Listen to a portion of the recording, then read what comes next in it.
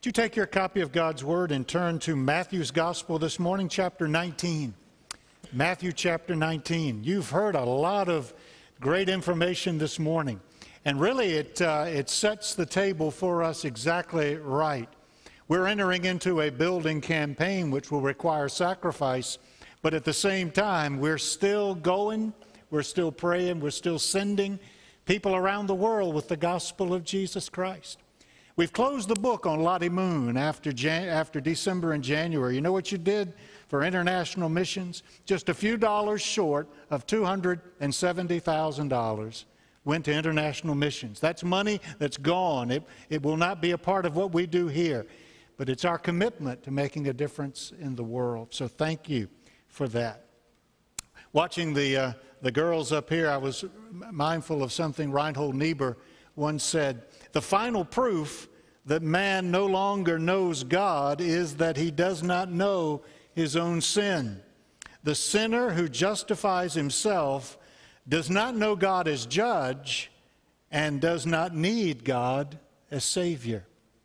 If you deny your sinfulness, there's really no place for God in your life. You have to start there. Chapter 19, beginning at verse 16, and you'll recognize this story immediately. It's the story of the rich young ruler. Uh, it's told in three different Gospels, and, and we never get the whole picture in any one of them. It's only when we put them all together that we know that he was rich, that he was a ruler, and that he was young.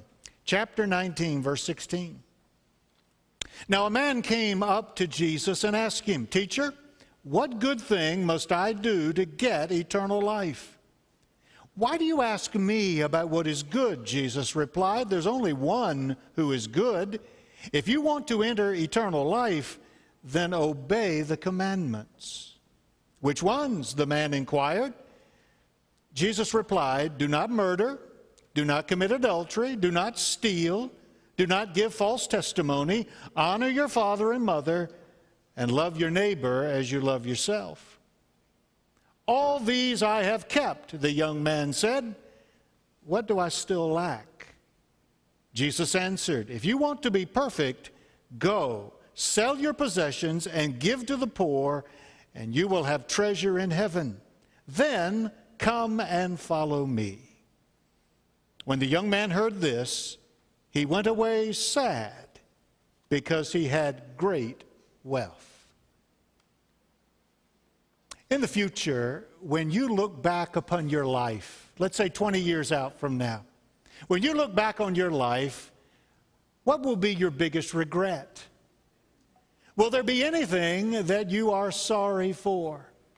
We tend to think that uh, when we look back upon our lives, it'll be something we did that we regret. Mark Twain said, No, in 20 years, as you look back, it will more likely be something you did not do.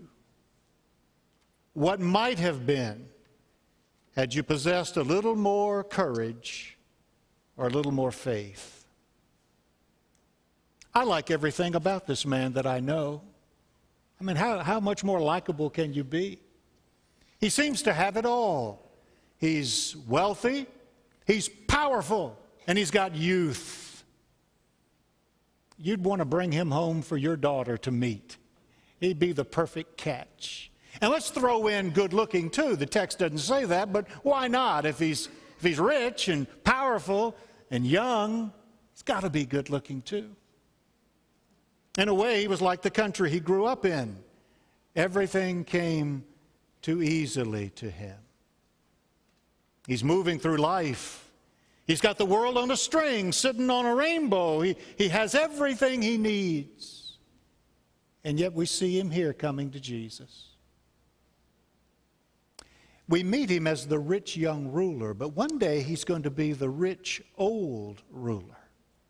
And when he looks back, what will he think about? Well, he, he, might, not, uh, he might not be in power. You know, there was that election in 2024, and it was an anti incumbent mood in the country, and he got voted out. Andrew Young once said, It's quite an experience to one day be in the motorcade going down Pennsylvania Avenue, and then one day later, you're on the street looking at somebody else in the motorcade going down the street. And maybe he won't be rich in the future. Maybe in the great stock market crash of 2029, he loses his shirt.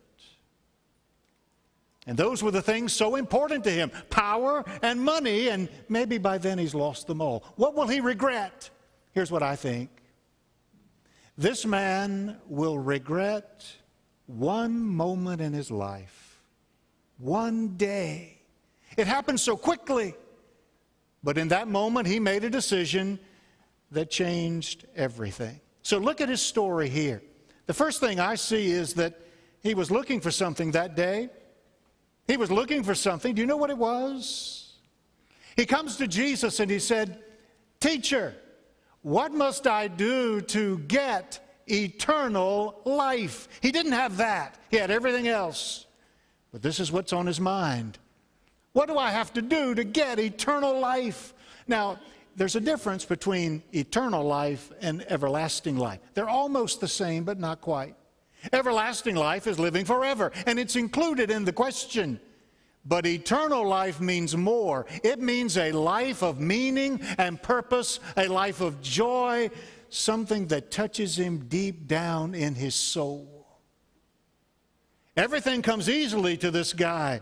But about once a month, he begins to fear that he is a fraud because something's not right. I think everybody's asking that question. They may not phrase it that way, they don't know how to phrase it that way. But that's really what everybody wants. Whether you've got a little or you've got a lot, you want eternal life. When Moses is making his last uh, sermon to the Israelites in Deuteronomy chapter 30, he's soon going to die, and uh, Joshua is going to take them on in. But he preaches to them one more time, and he says, Here today I am setting before you life and death, blessing and cursing. Choose life. Scott Black Johnston, a Presbyterian preacher, was talking about this text recently, and he came to that sentence, Choose life. And the pastor wondered, Well, who wouldn't? Does that even need to be said? Who would choose death when you can have life? But people do it all the time. Thousands of people each year in our country take their life in suicide. And what a tragedy.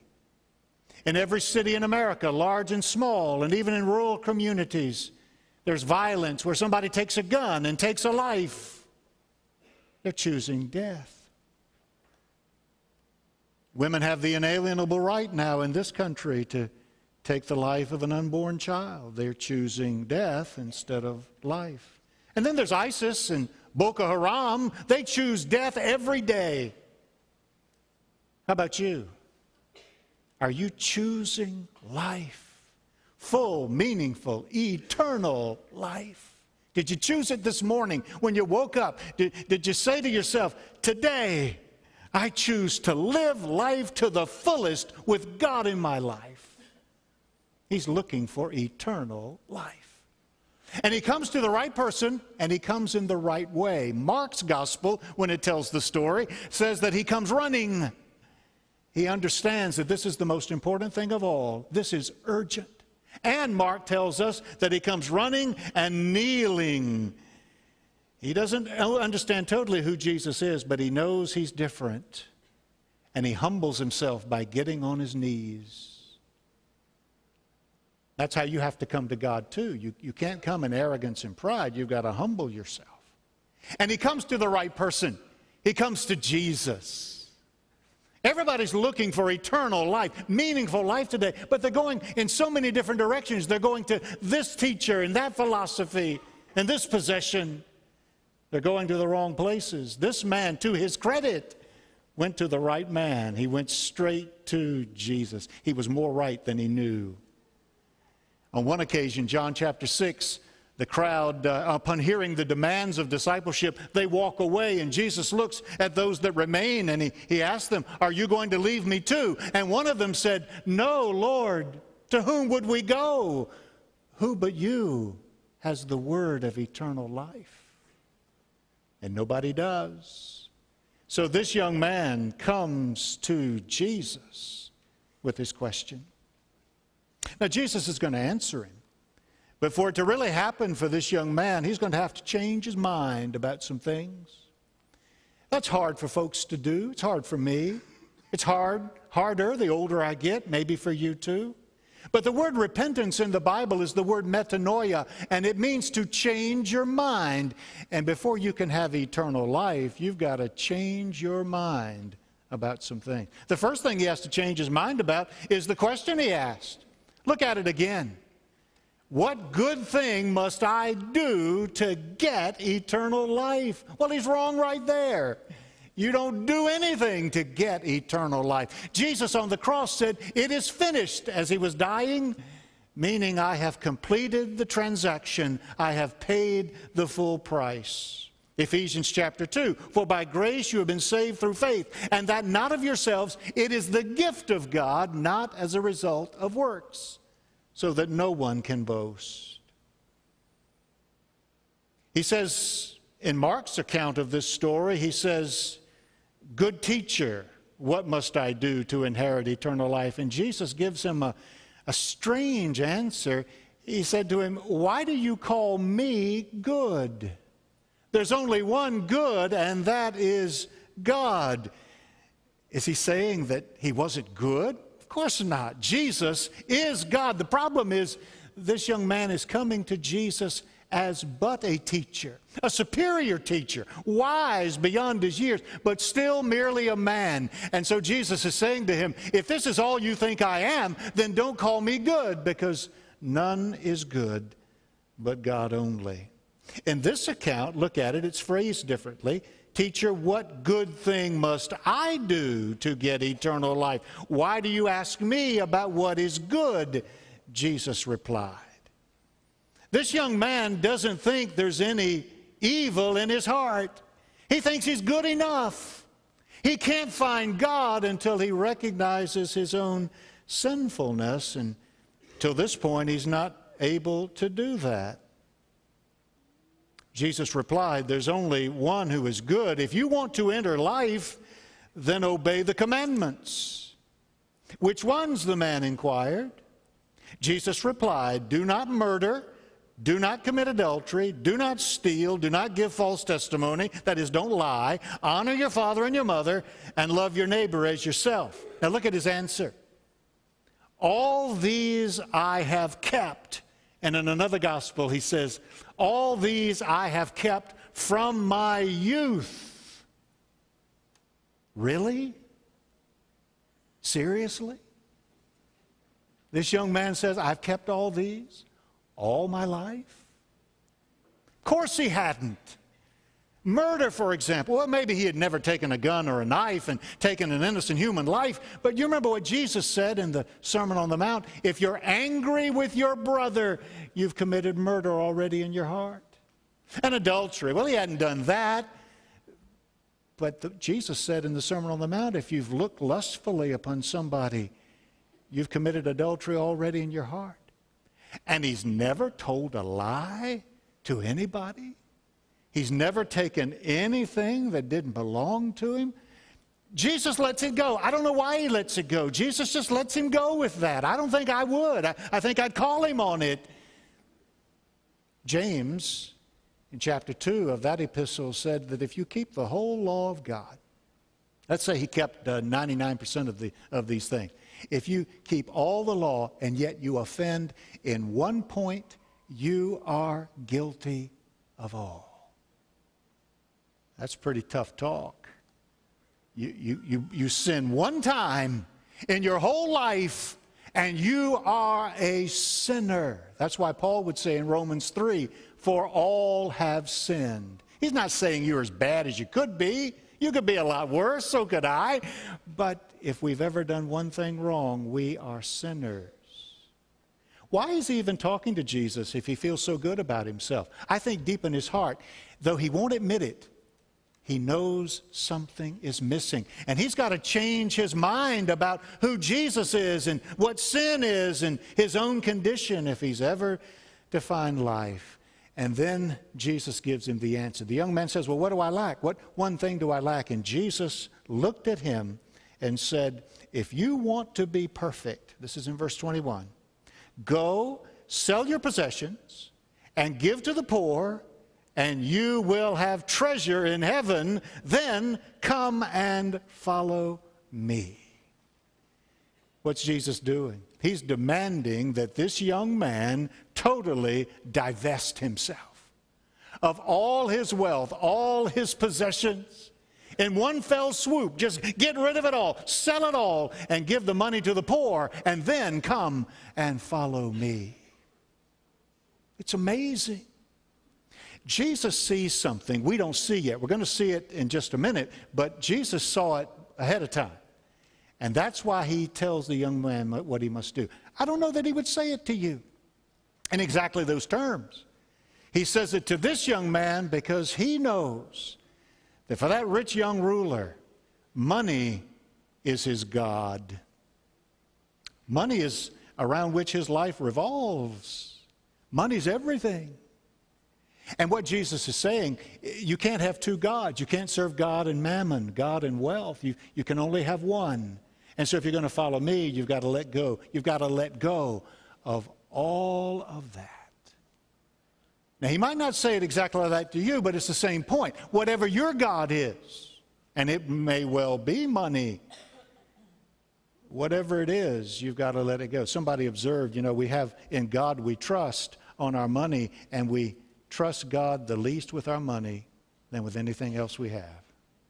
We just can't trust Him. Because this is money, this is real life.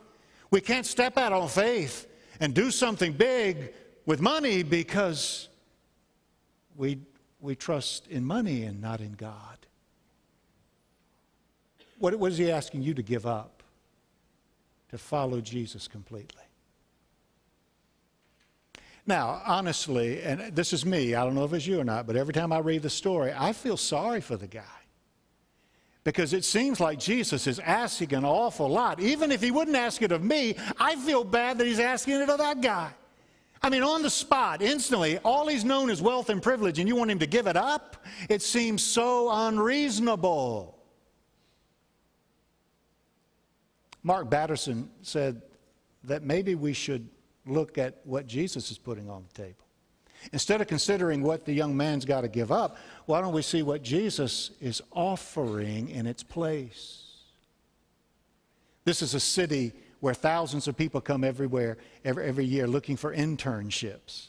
Maybe you're here for that reason. An internship on Capitol Hill. You're not making any money, but your resume is getting better by the day and you're learning things, and it's going to pave the way for a brighter future for you. People fight for those internships. Do you see what Jesus is doing? He's offering this rich young ruler the best internship of all. Imagine to be able to walk with Jesus every day, to see how he thinks, to hear his words straight from his lips, to watch him as he feeds thousands with a little boy's lunch to see him as he touches a sick body and the person gets well, to watch him when he's standing outside of a cemetery and calling forth the dead and they get up filled with life. Imagine what he's being offered. And he offers you the same thing.